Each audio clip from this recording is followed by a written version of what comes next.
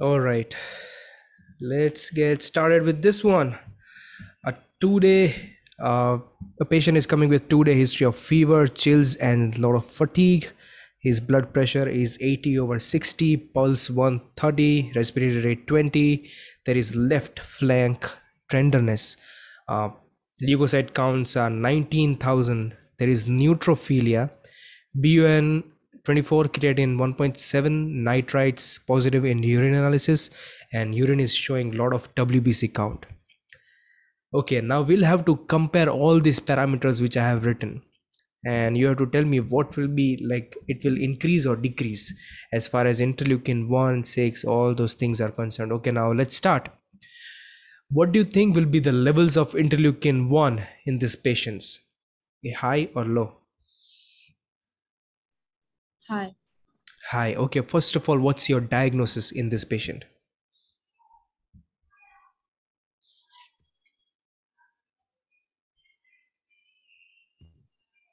Diagnosis? Pneumonia. Why?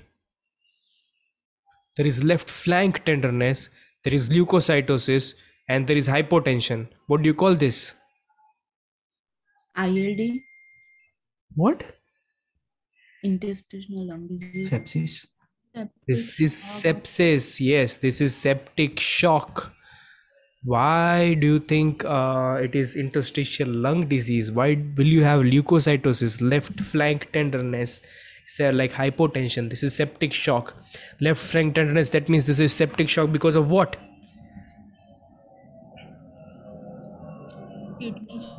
kidney where's the like primary infection is in kidney. So this is pyelonephritis okay? Uh, this is pyelonephritis that's the kidney the inflammation of the kidney. The kidneys has like a lot of pus in it or like there is already like a lot of infection in the kidney. So pyelonephritis has caused uh, septic shock in this patient. It's very common in elderly patient to develop uti see because elderly patient like gets uti and out of like if the uti ends up they get pyelonephritis and they, they get septic shock okay so anushka said interleukins level will be high because they are high in septic shock what about interleukin 6 uh, levels in this patient High. tnf alpha High. okay crp Increased. Please. okay endotoxins Increased. because they have a lot of bacteria especially gram negative bacteria what's the most common organism which can cause septic shock Staph aureus. that's gram positive. That's e coli. Staph aureus is gram positive. Most common organism which can cause like pyelonephritis and uti that's e coli which is gram negative. negative and gram negative bacteria has endotoxin in it. Okay? Endotoxin exotoxin is for gram positives. Endotoxin are component of the cell wall. So if they break down they'll release endotoxin. And that endotoxin will upregulate interleukin 1 6 tnf alpha and all those things. Okay so endotoxins will be high because it's gram negative. What about neutrophils? Increase. increase because it's again sepsis. Okay now endotoxins is going to damage your endothelial cells and it is your endothelial cells are damaged and of course your endotoxins and all those things will also upregulate uh, acute phase reactants. If they ask about acute phase reactants will they be increased or decreased in septic shock Increased. Increased. increased Increased. perfect they'll be increased now uh actually usually in any kind of shock like for example hemorrhagic shock if you are having hemorrhagic shock what will be the levels of vasopressin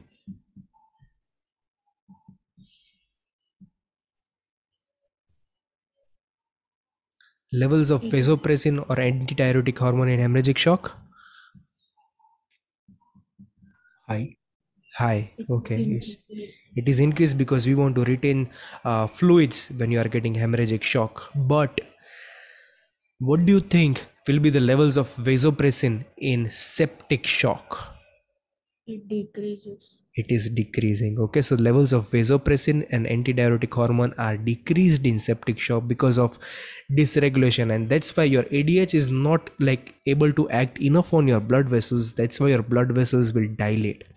That's why you have septic shock okay? So vasopressin levels um, it's because because of the dysfunction in the secretion of adh uh, and that's actually the main reason why these patients have septic shock and hypotension in septic shock. So the levels of vasopressins are less in septic shock but in as like in other shock they are high. And since nitric oxide and prostaglandins are acute phase reactants what do you think their levels will be in septic shock high or low?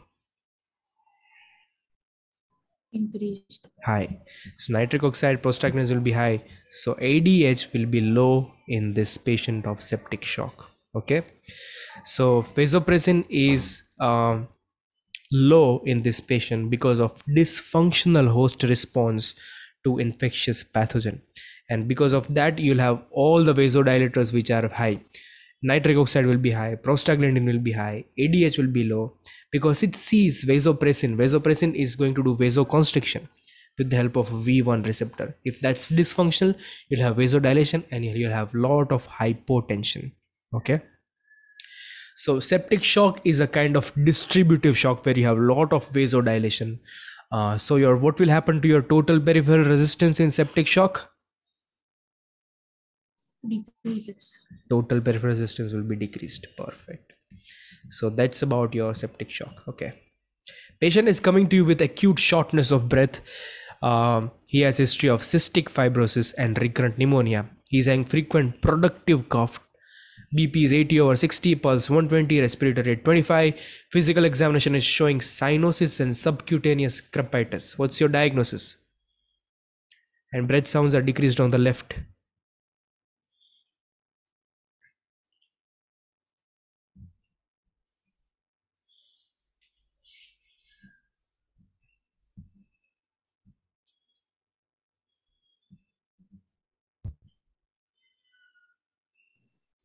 Breath pneumonia.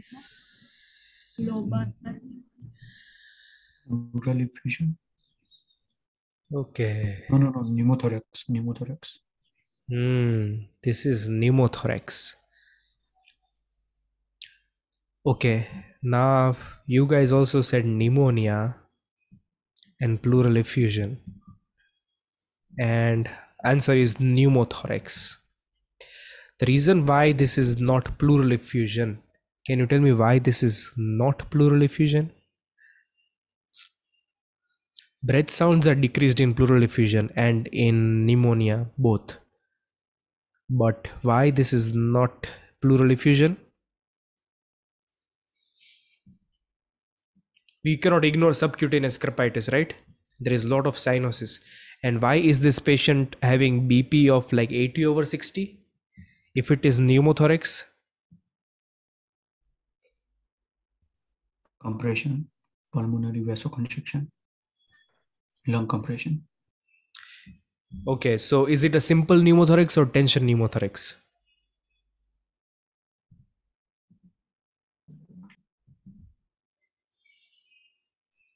It's acute shortness of breath. So is it simple pneumothorax or tension pneumothorax? Let's say you have a lot of air filled in this pleural cavity, lot of air, there is mediastinal shift. This everything is shifting on this side. Um, so you'll also compress your vessels, and because you compress your vessels, you'll have hypotension. Let's say you compress your IVC, SVC, less blood is coming into your heart, and you have hypotension. So because of all those compression of the vessels, you are having less preload. That's why you are having hypotension. Is it simple pneumothorax or tension pneumothorax? In the simple pneumothorax, uh, the patient might be asymptomatic or slightly symptomatic, Yes. but here is acute shortness of breath. Yes. So it's a tension pneumothorax. Very good. So, and at the top, this patient is hemodynamically unstable. You have to always think about tension pneumothorax when the patient is like severely hemodynamically unstable, and you'll also have mediastinal shift. Okay, and if I say about intrapleural pressure, intrapleural pressure will become more negative in tension pneumothorax or positive. Positive. Positive. Very good. That's positive intrapleural pressure. And that was your answer. Okay, so there'll be loss of negative intrapleural pressure. So that means the intrapleural pressure will become positive. Okay. In any so pay attention to these two important these are golden vitals. If somebody is has is has like hypotension and tachycardia that means we are worried about something. And this is very important sign especially in hemorrhagic shock. Hypotension with tachycardia is very important sign in hemorrhagic shock. Okay so this is tension pneumothorax. Probably this is patient is already having cystic fibrosis and like lot of lung damage. So is it like uh, primary pneumothorax or secondary pneumothorax Secondary. secondary. Very good because secondary that means already there is some predisposition of the lung like cystic fibrosis. This is secondary spontaneous pneumothorax. Next step in management? You guys must be expert now. Needle decompression. very good. Needle decompression followed by chest tube placement. Okay so these are all pneumothorax this is collapse of lung collapse of lung. This is again pneumothorax okay? This is a completely blackout. And here there is lot of like air here it's compressing on the other side. That's why this is tension pneumothorax okay. Elderly man coming with two weeks of shortness of breath. He's having dyspnea while lying down so that he sleeps on chair on examination there is jugular venous distension there is decreased breath sound and dullness to percussion on bilateral lung basis okay? There is pitting edema in bilateral lower limb. Chest x-ray is showing cardiomegaly and there is bilateral pleural effusion on both sides. And on auscultation there is always like uh, crepitus on bilateral lung basis serum protein is 6 serum ldh is 60 they are asking which of the following will be the set of pleural fluid finding if you aspirate and send it for cytology what would you choose out of five options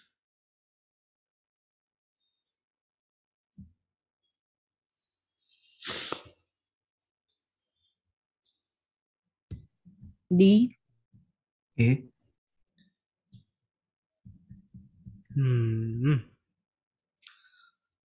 Okay, A is. I'll not tell whether it's correct or not. First of all, tell me A is transudate or exudate? Conjugate. Transudate. Myth. Transudate. What is it? Transudate or exudate?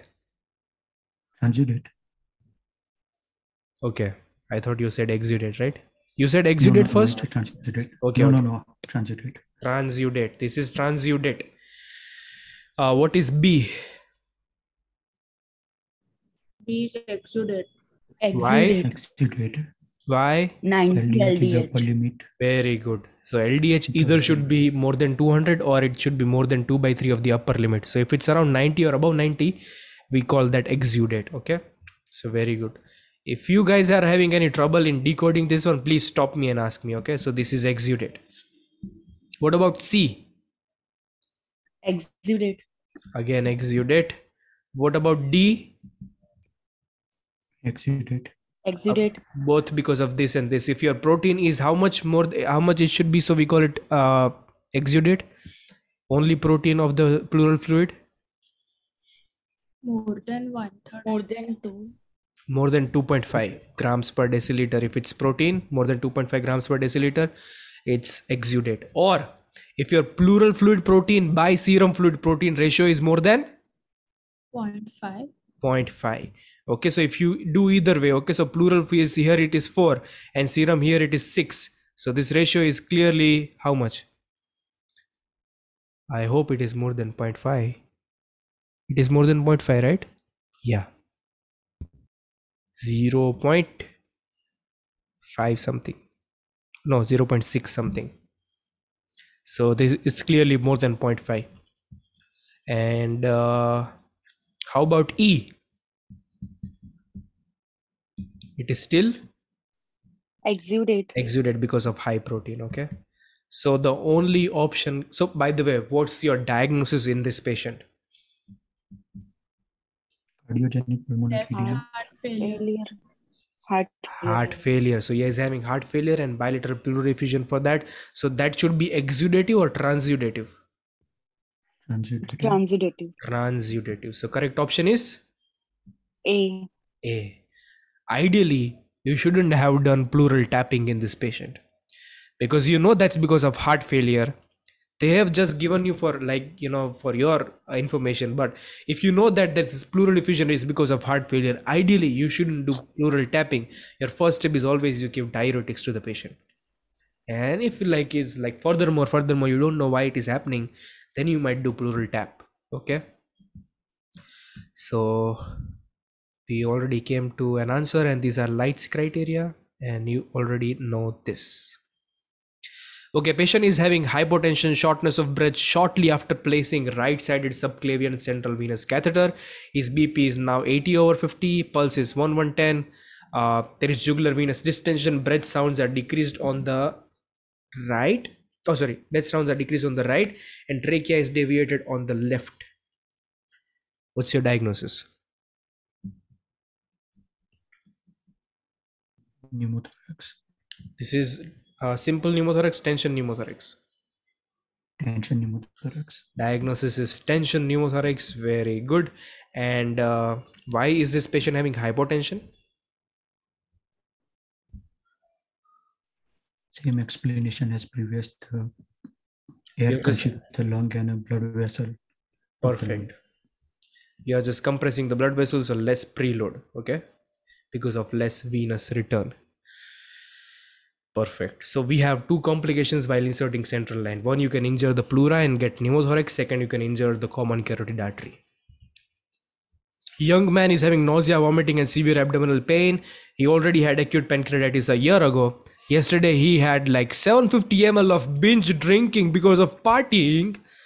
Uh, now he's having tenderness in the epigastric region. Serum lipase is high. On second day of hospitalization, he's now having shortness of breath and hypoxia. Chest X-ray showing white out lungs. What's your diagnosis? ARDS. Wow, you guys are ARDS expert now. Uh, which parameter will be normal? Pulmonary capillary. PCWP. Very good. That's ARDS. Patient comes to you with urgent uh, on urgent and clinic because of shortness of breath. He's on ski vacation um, at Colorado at height. I like they mentioned about height uh, here uh, in some of the NBME questions. You have to like they they they'll mention some very high altitude places. Uh, if you know if they mention about Shimla, we come to know. But if they mention about something like in United States, it's difficult. Was difficult for me at least. So just like there are like two th- two three places which are at very like you know high altitude. So know them. So Colorado they have given already at high altitude. So this question is of high altitude. He's having worsening worsening dyspnea and cough, shortness of breath with minimal exertion. His saturation is 86 on ambient air which rapidly improves to 95% with supplementation supplemental oxygen at high altitude if you give supplemental oxygen why do you think the saturation rapidly improves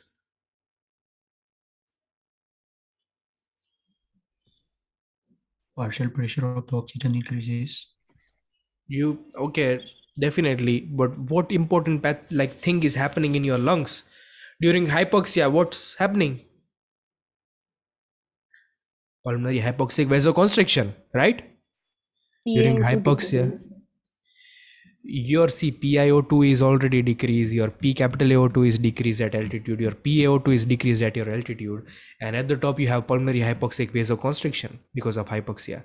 So you give supplemental oxygen, your vessels will keep on like dilating. So that's how you you increase your uh, PaO2 as well as SaO2, and of course you are of course increasing everything in PiO2 as well. But anyways, now this patient is having bilateral inspiratory crackles and chest x-ray is showing patchy alveolar infiltrates. This is a challenging question but i would be really impressed if somebody can explain me the pathophysiology that why is this patient i'll tell you the diagnosis. This patient was at altitude he is now getting patchy pulmonary infiltrates. Why do you think this patient had uh, patchy pulmonary infiltrates Okay, these patchy pulmonary infiltrates are actually pulmonary edema. But why this patient developed patchy? Pulmonary edema. Huh? This is high altitude pulmonary edema, right? Okay. Perfect. This is high altitude pulmonary edema. Why do you think it becomes like the distribution is patchy at high altitude? Like the smaller airways undergo vasoconstriction. Vasoconstriction, hypoxia induced. Because of hypoxia induced vasoconstriction at some place and because of dilation at some place. Okay, so it's actually VQ mismatch. Actually, uh, this let's say this place is having a lot of hypoxia and there is a lot of vasoconstriction. And if there is vasoconstriction here, there will be definitely some place which will receive more blood than it should receive more than usual. So this place which where it is receiving a lot of blood their hydrostatic pressure in the capillary become will become so high that a time will come it will just disrupt the capillary alveolar membrane. And when this is ruptured you get edema at that place. So wherever you have a lot of high hydrostatic pressure in the capillary you get edema. And some place there is a lot of vasoconstriction. So it is like a lot of vq mismatch which is causing patchy alveolar infiltrates. Is it okay everyone uh, the other other pathology which you'll learn in step 2 where you also see patchy alveolar infiltrates. Uh, after road traffic accident if you just hit your chest wall and after let's say 24 hour you uh, initially let's say the patient is having normal chest x-ray and after 24 hours if you repeat the chest x-ray that chest x-ray is showing irregular patchy opacity. Your diagnosis is lung contusion okay? So that is your lung contusion. Initially it's a chest x-ray will be normal. After 24 hours you may see irregular patchy opacity. That's your step 2 question. Okay? So this is high altitude pulmonary edema because of uh, vq mismatch. Somewhere you have a lot of high hydrostatic pressure. Because of that you might rupture alveolar capillary membrane at that place okay patient is having ards he is intubated and mechanically ventilated with positive pressure ventilation. Despite of use of high peep that's positive and uh, expiratory pressure he continues to deteriorate. Now we are putting the patient on prone. Uh, he is having little improvement in oxygen saturation. Why? What happens when you like change the position to prone? There is more space for the alveoli to open up. Okay. Actually i really like the explanation of you like UWorld in this uh, question. Uh, they said like mostly the lung tissues are on the post see, no doubt you have lung tissue but anteriorly on the anterior side it's like a lot of heart and all those other things which are uh, heart and like major vessels are occupying the uh, mediastinum on the anterior surface. Uh, mostly majority of the lung tissues are on the posterior side. So if the patient is sleeping on the posterior side uh, your heart and chest wall everything will push the lungs okay? So that's why there'll be little compression of the lungs here. If you place the patient prone your heart and all the vessels will rest on your anterior chest wall if you are on the prone side. So your posterior lung side will be free. So they'll open up. So when you put air so they'll have good oxygenation when you put the patient on the prone position. So that's prone position ventilation preferred um, for patient who are having ARDS. So when you put the patient prone, there'll be improved v, uh, VQ uh, ratio. Okay. Patient after motor vehicle accident, uh, he is already having a history of celiac disease and three episodes of pneumonia. After motor vehicle accident, his uh, blood pressure was 80 over 45, pulse 130. There was a lot of pallor fast scan showed splenic laceration. Fast scan is just you do abdominal ultrasound focused abdominal sonography uh, for trauma. That showed splenic laceration. He received o negative packed red blood cell volume. During transfusion he developed facial swelling generalized hives and shortness of breath. Why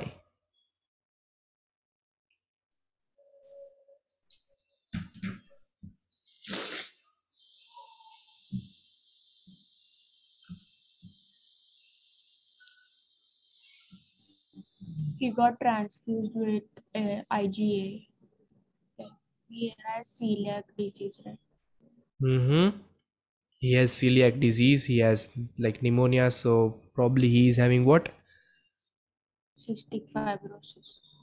Oh, IgA deficiency. this is selective IgA deficiency.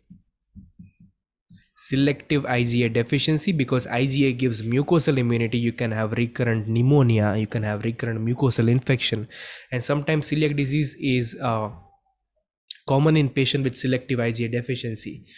Here in step two, they'll ask you, see, what what antibodies do you check in celiac disease? IgA, Glutamin. Anti-endomycin.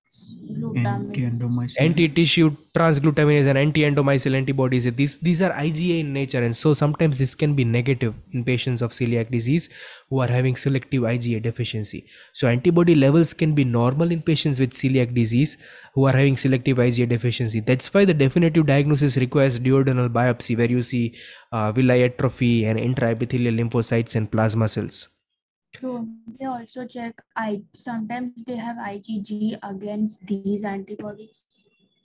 What Sometimes like whenever you have IgA deficiency, like selective IgA deficiency, don't they check IgG against these antibodies?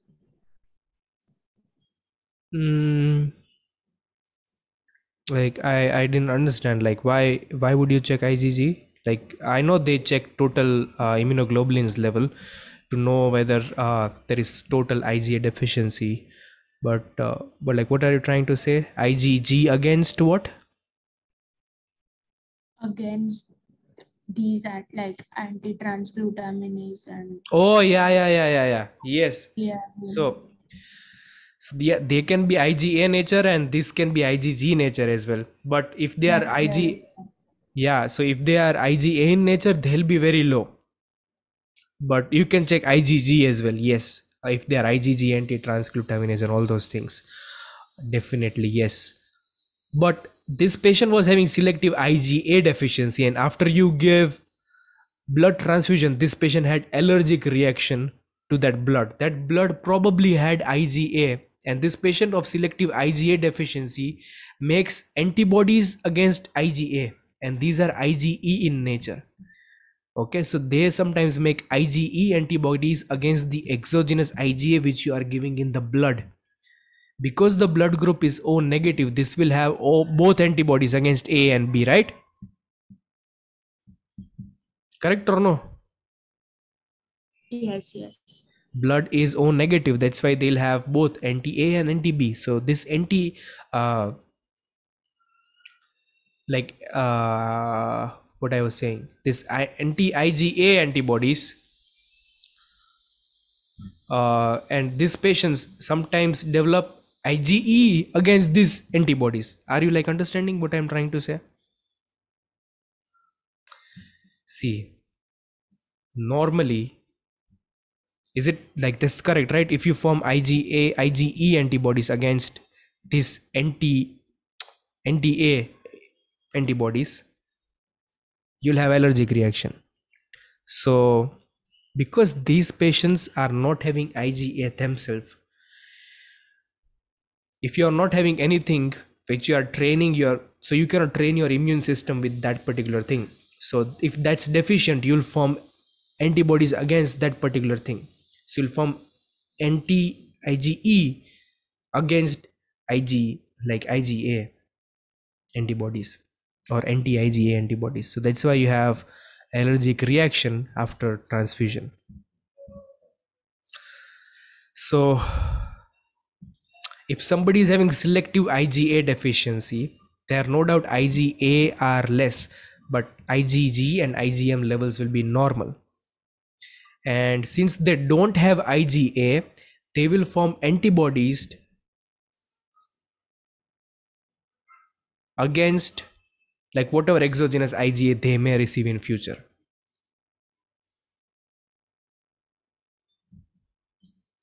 If patient is having O negative blood group,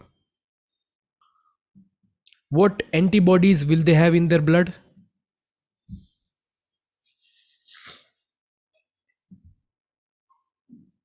A and B,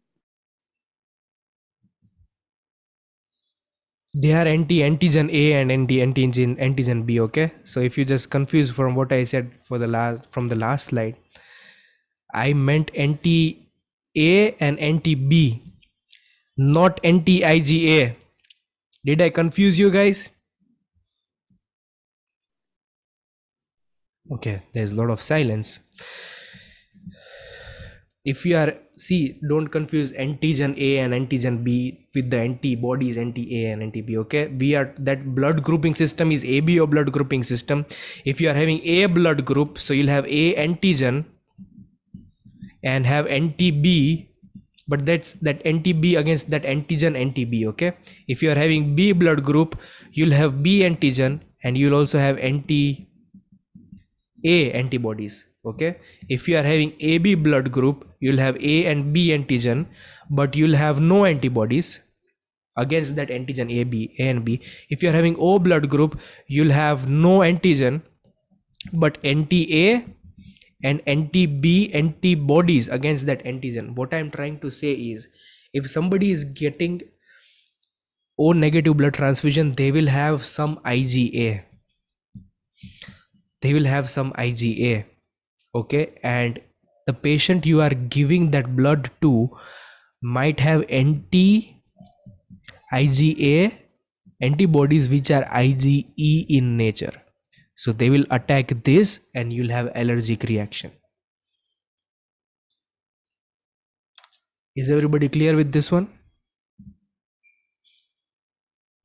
Sir, can person with any blood group have IgA, right? Persons with IgA yes yes yes yes. Everybody will have IgA antibodies. Unless you are having selective IgA deficiency or hypogammaglobulinemia right? So you give this patient uh, any blood which has IgA antibodies they'll have allergic reaction. That's why in patients who are having selective IgA deficiency you have to give blood group which is washed okay this is step 2 question. That's why you give washed uh, blood which does not have IgA is it okay? Everyone? Yes, all right. So actually you form IgE antibodies against oops the, that's why you have allergic reaction to these patient uh, allergic reaction to transfusions. Okay. Elderly female is having fever cough confusion flu like symptoms since last week uh, but now she is feeling worse since three days. She's having history of copd and ckd blood pressure 70 over 40 pulse high respiratory rate high saturation 94 on 2 liters per minute oxygen. On examination, she is lethargic, dry mucous membrane, flat neck veins, dullness to percussion, and crackles at the right lung base. Chest x ray shows right sided lower lobe consolidation. IV access is established. First of all, tell me what's your diagnosis?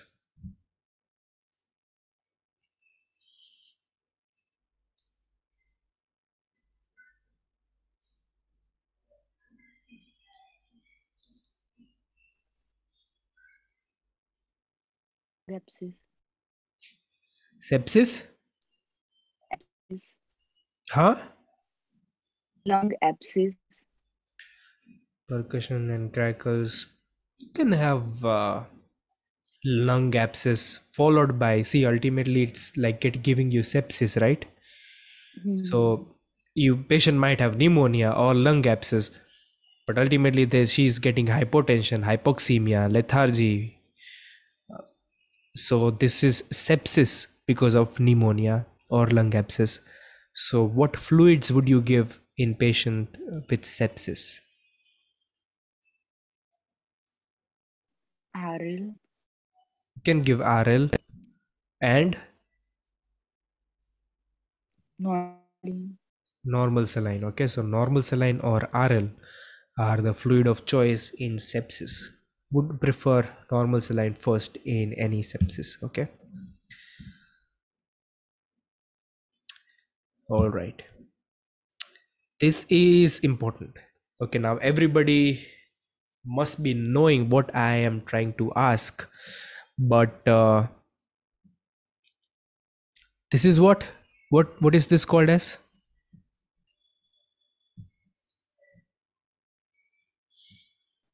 spirometry. No, no, no, no, no.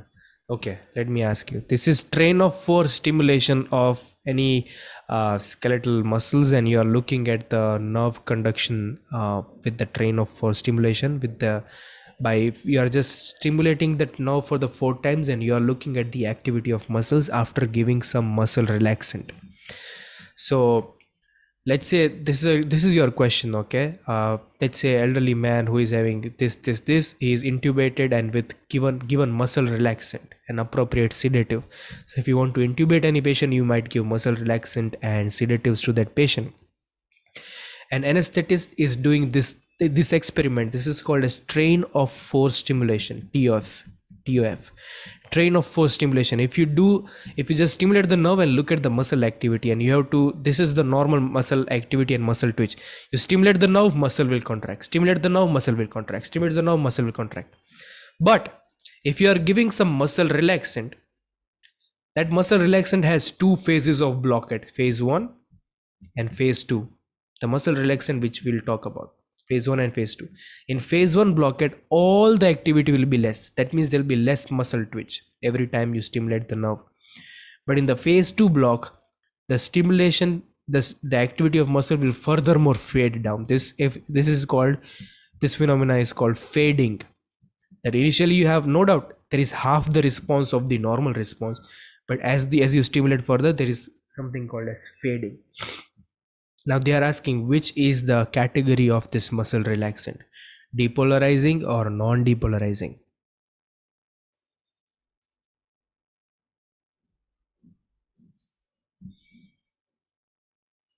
Train of four stimulation. I think we left this topic uh, while we were talking i think cvs right? Okay why there is a lot of silence. Okay let me explain you the train of four stimulation. We have two kinds of muscle relaxant. One is depolarizing and one is non-depolarizing. The non depolarizing muscle relaxant will give you a graph just like this. Okay this one the depolarizing muscle relaxant will give you graph in two phases. One will be one where there'll be like 50% of the response and in the phase 2 you'll get no doubt initial 50% response but gradually they'll be fading. Now why is this thing happening? When you give non-depolarizing muscle block it is going to block both post synaptic nicotinic receptors as well as uh, presynaptic nicotinic uh, acetylcholine receptors. So if you block postsynaptic nicotinic acetylcholine receptor no doubt there'll be no depolarizing activity on the postsynaptic terminals. But the presynaptic nicotinic receptors are also important for positive feedback loop. Listen to this carefully because even UWorld will not explain this in non-depolarizing blocks normally in normal if you want to know normal neuromuscular transmission what is happening? You release acetylcholine. When you release acetylcholine acetylcholine will bind to the postsynaptic nicotinic receptor. And when acetylcholine binds to the postsynaptic uh, nicotinic receptor the sodium will come inside and you will have depolarizing depolarization. Now this acetylcholine will also bind at the presynaptic terminals here and when acetylcholine binds here at the presynaptic terminals it will release furthermore acetylcholine. This is called as positive feedback. So everybody knows that we have postsynaptic acetylcholine receptors but we also have presynaptic acetylcholine receptors which are important for positive feedback loop. So if you block presynaptic acetylcholine receptors do you think more acetylcholine will be released or less acetylcholine will be released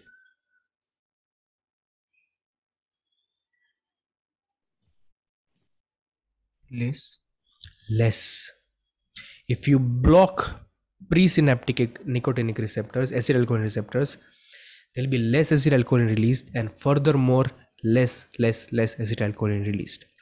So the thing is, if you give non-depolarizing blockade, like for example, T-tubocurare or vecuronium, rocuronium, they are no doubt blocking the postsynaptic nicotinic receptor, but they are also blocking the presynaptic nicotinic receptor. Since you are blocking presynaptic nicotinic receptors as well, there'll be less, less, less acetylcholine released subsequently because there is no positive feedback loop. So if initial response is this much, gradually it will decrease in response because you have blocked both presynaptic and postsynaptic acetylcholine receptors. Are we clear, everyone? That's why you'll get uh, fading of response with non-depolarizing blockade, the muscle relaxant. Is it okay, everyone, or not? Okay. If you give depolarizing blockade, initially the depolarizing blockade or succinylcholine will only desensitize the postsynaptic terminals. Like depolarizing will first of all desensitize the postsynaptic terminals. Okay. So you'll have de- like less response, but since your presynaptic terminals are okay, acetylcholine can still bind to the presynaptic terminals and keep on releasing more acetylcholine if needed. But no doubt you are releasing more acetylcholine, but less acetylcholine will be able to act here because you are already under the effect of depolarizing muscle blockade. So, in phase one of depolarizing muscle block, you are only blocking the postsynaptic acetylcholine receptor. Your presynaptic is okay. Since your presynaptic occurs, you can mobilize furthermore acetylcholine. But since your postsynaptic receptor is blocked, it's like desensitized. So the response will be obviously half because you're blocking your postsynaptic only. But at phase two, it also blocks presynaptic. So when it blocks presynaptics and postsynaptic both, it will just act like non-depolarizing muscle blockade. So this is just about blocking presynaptic and postsynaptic. If you block both presynaptic and postsynaptic acetylcholine receptor at the same time, like non-depolarizing block, you are furthermore not releasing acetylcholine. So you'll have fading of the response. Whenever you stimulate your nerve, gradually there'll be less, less, less, less muscle contraction. But in depolarizing block, you are just first of all blocking the postsynaptic uh, receptors. So when you block the postsynaptic receptor, you'll have every time. See, initially when I was contracting the like stimulating the nerve, this much was the muscle contraction. But when you give succinylcholine in phase one, initially it should be this much, but it's only happening this much. Phase one block. Train of four stimulation one, two, three, four. So initially it was this much. Now it is 50%. One, two, three, four. In phase two, it will be like this one, two, three, four. Are you guys all clear?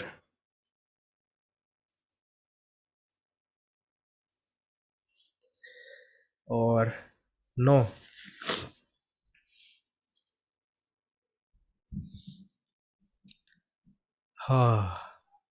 So in the non-depolarizing block, mm-hmm.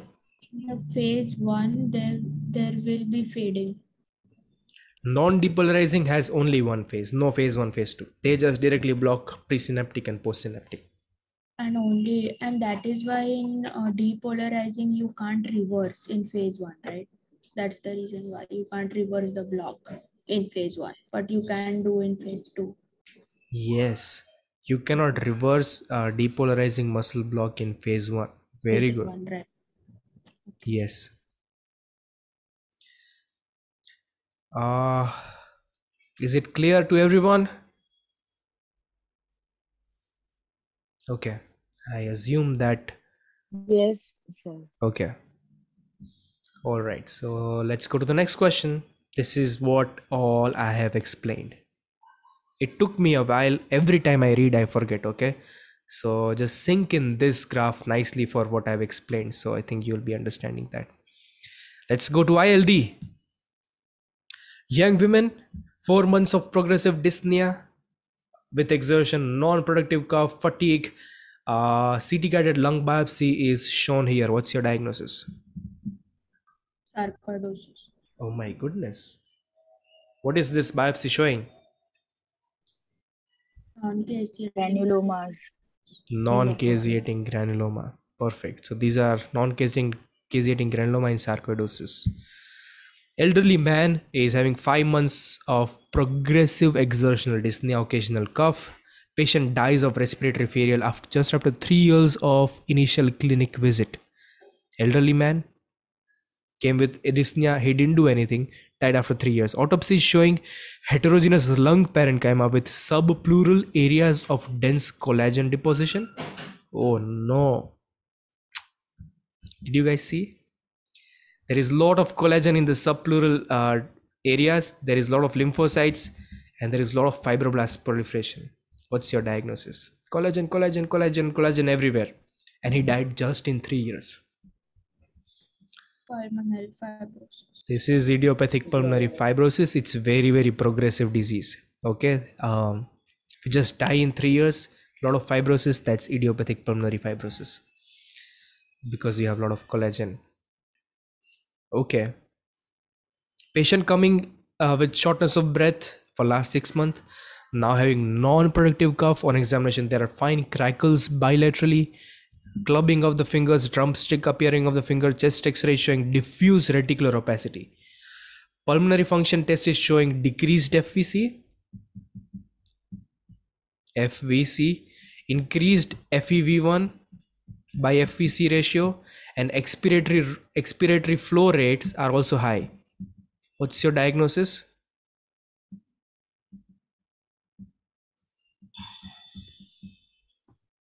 Less FVC, but if FV, FEV1 by FVC ratio is high, and expiratory flow rates are also high. What's your diagnosis? Restrictive lung disease. this is restrictive lung disease uh, maybe fibrosis and why they have supernormal expiratory flow rates Lots of elastic tissue. lots of elastic tissue perfect. And that that is what? Radial traction okay? Contraction. and because of lot of elastic tissue the airways will remain open. That's why they, they can just exhale in like very much in one second. So because of lot of elastic tissue and because of lot of radial traction you have supernormal expiratory flow rates young women with shortness of breath anterior uveitis swelling of the parotid glands lungs are clear to auscultation chest x-ray showing hilar lymphadenopathy diagnosis Sarcoidosis. sarcoidosis if you do the biopsy what will you see Non-caseating granuloma. granuloma with giant cells. A 48 year old man is having progressive dyspnea cough uh, for several weeks. He's a formal smoker. Saturation at rest is 88%. On examination, there is scattered crackles, uh, bilateral mid alveolar and lower alveolar opacity. The lung biopsy is, this is going to be a little difficult. Lung biopsy shows um, lipoproteinaceous PAS positive material. Electron microscopy shows lot of lamellar bodies. What's your diagnosis? Sarcoidosis. No. Laminar bodies. Lamellar bodies are containing what? Surfactant. Isn't it asteroid bodies? This is uh, ex- uh, impaired function of type 2 pneumocytes. Oh, okay. Yeah. This Right. is no. Uh, actually, this is what? What's your diagnosis? If is if anybody knows, if when you have a lot of uh, PAS positive material, lipoproteinaceous material, surfactant, surfactant, surfactant, surfactant everywhere. If this is impaired function of type 2 pneumocytes, no, no, no, no, no.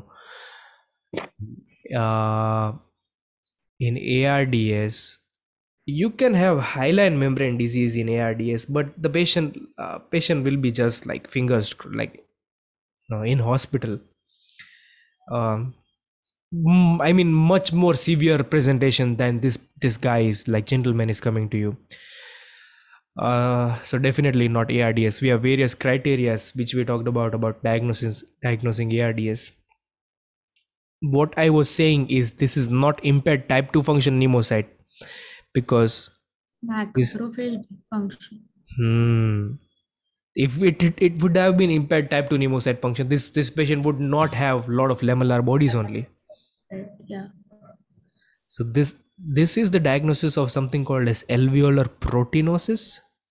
where you Mhm. have impaired function of macrophages so nothing is able to clear so you keep on producing n number of things it will just line your lungs like this okay so if at all you just put a lot of fluid in your lung and just wash your fluid uh, and you just take out all the fluids you'll you'll have like a lot of surfactant coming out because you cannot clear that surfactant because of macrophage dysfunction. Okay? So this table is very very important and i really like this table. If you have macrophage dysfunction you won't be able to clear alveolar debris include, including surfactant pathogens and whatever you inhale so if there is macrophage dysfunction you get something called as alveolar proteinosis where you have this is a kind of restrictive lung disease where you, everything keeps on accumulating in your alveoli and that will be usually PAS positive okay? Uh, if there is type 1 pneumocyte dysfunction that's usually in ards if you have type there if you have type 1 pneumocyte dysfunction you get ards type 2 pneumocyte dysfunction it's usually in respiratory distress syndrome in the baby. Uh, ciliary dysfunction is seen in cystic fibrosis and carter syndrome. Club cell dysfunction club cell is like are important to remove all the toxins. Like for example if you're a smoker or tobacco like if you are smoking your club cells are important to remove the toxins. But if they are if you keep on irritating uh, it will damage your club cells in in smoking as well.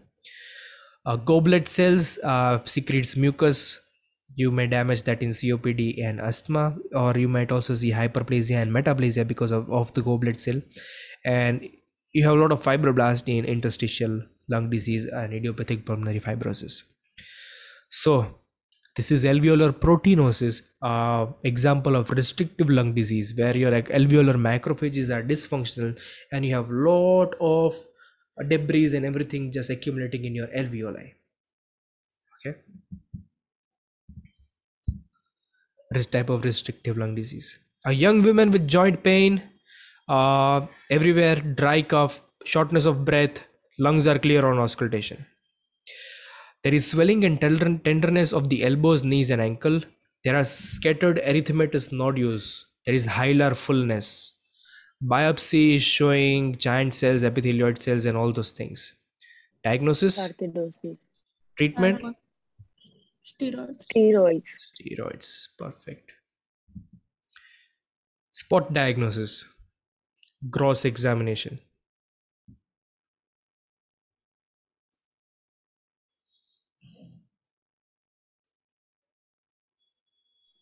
This is uh, asbestosis. Mesothelioma. Mesothelioma, excellent. So you see thickness of the pleura here. This is mesothelioma. Uh, more specific exposure would be of asbestosis. Uh, you also can see pleural plaques in mesothelioma, uh, asbestos exposure, and this will be positive. Mesothelioma is positive for one specific stain. That is Cytokeratin. what? Cytokeratin. Cytokeratin and L-renin. huh? Calretinin. Okay. All those, Calretinin. all those stains are positive for cytokeratin and calretinin. Will In- have psammoma bodies also. Yes, they will have some bodies as well. Mesothelioma. Very good. And tonofilaments. Yes. Excellent. Uh, black women, young black women, elderly, or uh, young black women, exertional dyspnea, dry cough. She works as a zookeeper, bird zookeeper. Chest X-ray showing bilateral lymphadenopathy. Serum ACE inhibit. Say, serum ACE levels are high. Calcium levels are high. PPD is negative.